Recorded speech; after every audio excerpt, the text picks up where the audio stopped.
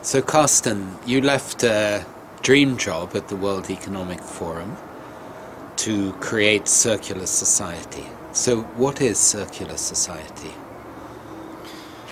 For the last five years that I worked at the World Economic Forum as the global head of human resources, I interacted with and I watched and I listened to the two and a half thousand leading leaders from politics, from civil society, academia, and so on.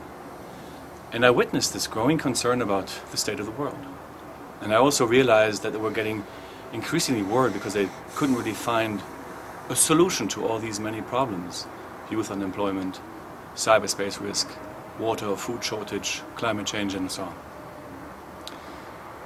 I realized that our underlying belief in Western societies as much as in Eastern societies nowadays to tell the individual that the ultimate goal in life is to maximize your own individual financial success is probably not the right approach.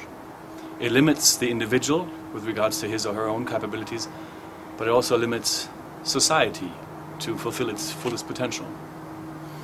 So I left the forum to create Circular Society, um, to create a platform for like minded people, and actually everybody else, to come together and learn about and share this underlying fundamental wisdom of interconnectedness that everybody and everything is interconnected.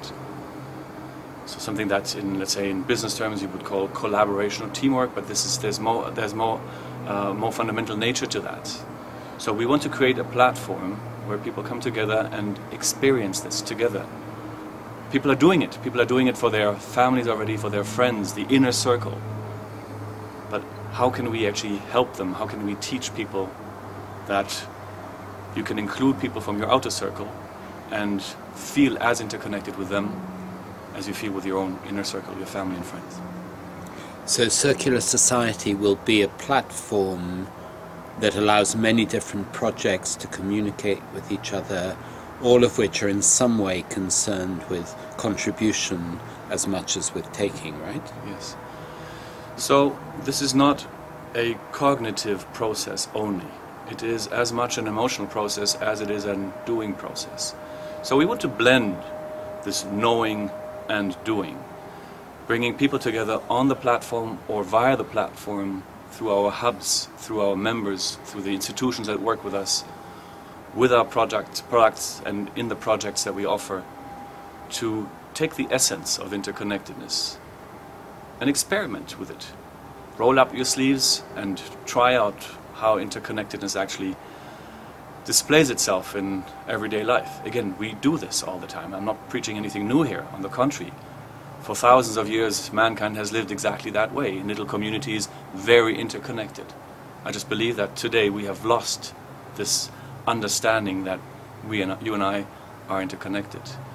So they come together and they can use a variety of different products in the learning field as much as in the, let's say, uh, project and initiative field. We have six different categories from business via politics, health, education, and so on. You can check that out on our website. You can join project and initiatives, but you can also put up your own project and excite other people to come and join forces with you to drive social impact on any one of those projects.